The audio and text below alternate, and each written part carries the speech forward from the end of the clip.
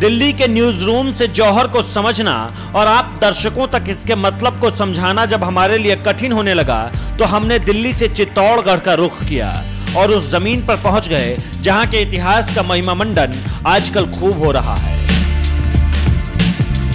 संजय लीला भंसाली की फ़िल्म में रानी पद्मावती के जिस जौहर की बात की गई है, हम उसी जौहर स्थल पर हैं। आपको बताने के लिए हम दिल्ली में किसी स्टूडियो से बैठ के बातें नहीं कर रहे हैं। हम उस जगह पे आए हैं ये जानने के लिए कि जो बातें कही जा रही है, जो बातें मीडिया में चल रही है, जो बातें खबरों में सुर्खियाँ बनी हुई है, वो सच्चाई में क्या है? जौहर स्थल को देखें तो जो किंवदंती है, या जो हमने आपने सुना है, उसकी सत्यता के लिए एक इमारत का टूटा हिस्सा है।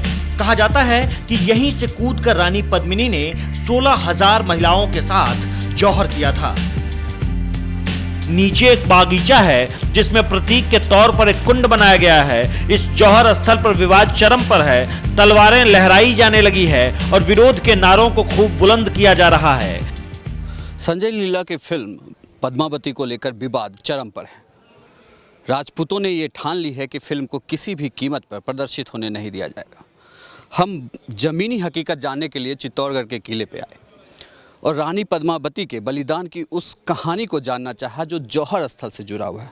हम जौहर स्थल पर हैं और इस कहानी को जानने के लिए हमने हमें सबसे सटीक आदमी वह लगा जो यहाँ गाइड एसोसिएशन का अध्यक्ष है, जो आने वाले लोगों को महारानी पद्मावती के किस्से सुनाता है। हम उन्हीं से जानेंगे कि इस जौहर स्थल का क्या इतिहास है।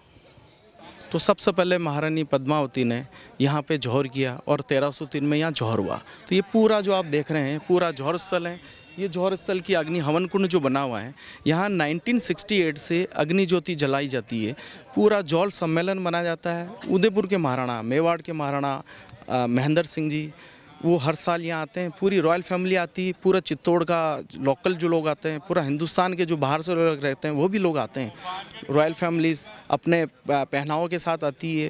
बाकायदा आज भी यहाँ पूरा ट्रैफ़िक बंद किया जाता है, लोग किले के ऊपर चढ़ते हैं, ऊँट के द्वारा, घोड़ों के द्वारा, हाथियों के द्वारा, उसी केसरा साफ़ा पहन के, वही लेडीज़ अपना ड्रेस पहन के, पूरा रॉयल फैमिली, पूरा लुक आता है।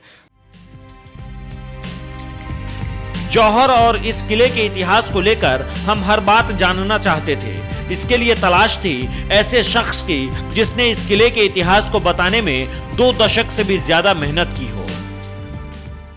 देखिए, चित्तौड़ जो है वो पूरे विश्व में हाईलाइटेड था। दुनिया का अपने आप से अपने आप में सबसे बेहतरीन हिस्टोरिकल फोर्ट है। जितना समर्पण, जितना सेक्रीफाइस इस किले ने किया, वो दुनिया के किसी भी पार्ट पर, किसी भी जगह पर आपको राजपूत अथवा जो समाज है सर्व समाज है, उनका सेक्रीफाइस आपको और कहीं देखने को नहीं मिलेगा। विश्व के अंदर इसका नाम पहले था और इसका नाम विश्व के अंदर बहुत अच्छे ढंग से बढ़ चढ़ हुआ है। जो जो फ़िल्म मेकर्स है, जिन्होंने कुछ गलत किया, उनको भी एक सबक मिलना चाहिए, वो सबक मिल रहा है। और दूसरी बात, अभी जितने टूरिस्ट आ रहे हैं, पिछले दो महीने, डेढ़ महीने से जब से ये मुद्दा इस देश में हावी है तो हर दिन आने वाला टूरिस्ट सबसे पहले ये पूछता कि पद्मावती की वास्तविकता क्या है। तो हम अपनी तरफ़ से जो, हमें जो आज तक हमारे पुरखों ने, हमारे इतिहासकारों ने जो हमें बताया है, संकलन जो हमारे पास है, वो हम उनको बताने की कोशिश करते हैं।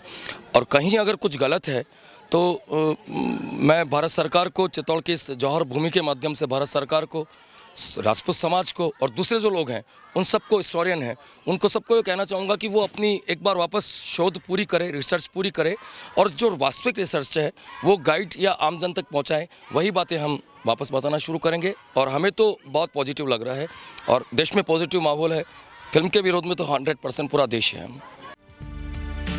चित्तौड़गढ़ के किले की भव्यता देखने लायक है। आप विवाद को फ़िलहाल भूल जाएँ तो एक बार इस किले में ज़रूर आएँ और राजपूतों के इतिहास में झाँक कर देखिएगा ज़रूर।